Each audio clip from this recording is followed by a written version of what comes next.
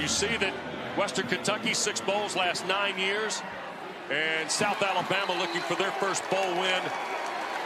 Receivers and a tight end for Reed.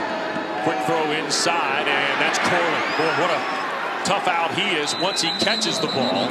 Works across the 40 to the 43, and Austin Five wide, too. That's Smith in motion. Snap to Reed.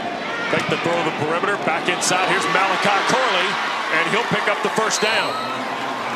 Corley to the 38. Jalen Jordan, who Roddy spoke of a moment ago, the stop for. He said, my teammates and my staff, this is the best place for my future. Malachi Corley touches it. And the uh, talk yesterday from Ben Arbuckle and Tyson Helton was we'd like that throw from a receiver, and as a coach, you're thinking, oh, my prayers have been answered. We're going to pick this off, and it ends up in a pass interference. And the throw to Corley that time, little back foot offer by Austin Reed. And they cross midfield on the stop by Jalen Jordan, but Malachi. Ervin Poindexter in motion. Here is Reed.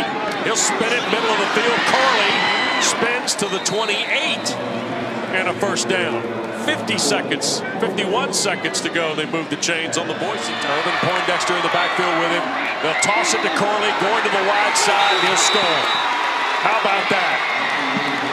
10 plays, 75 yards in 138. And on an up-time down score. All the flow is going one way. You get a couple of pullers going the other. Joshua Simon, the tight end, throws the the block that makes it just a trot in the end zone for Malachi Corley. South Alabama with a touchdown to start the proceedings. Quick throw, and this is Corley on the perimeter. And he is tackled. That's Thompson now, who came to the left of Austin Reed. Pressure coming from the Jaguars. That's Corley the catch and the get down at the 39 for the first down. He's a show in person. Here is Reed launching wide open Corley. He's going to walk in for the touchdown.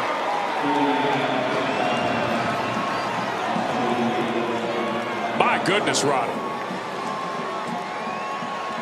Play calling. You got guys running all over the place. I think on the game plan, though, number 11 probably should have been the guy at the top of it. You can't forget to cover.